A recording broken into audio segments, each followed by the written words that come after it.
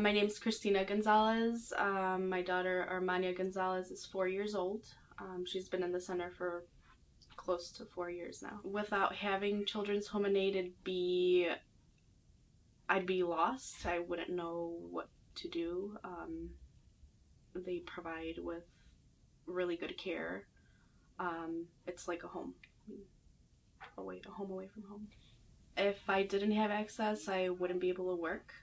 Um, I would probably be at my parents' house and not doing much with myself.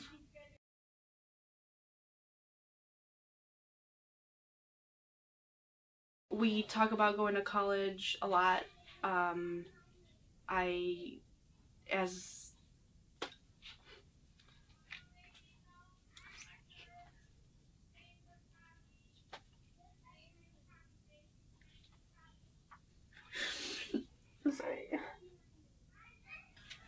I wish I had the opportunity that they have, so I want to instill in them that it's really important.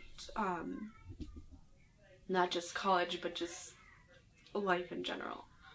Um, and I think Children's Home and Aid really helps them understand that future is important.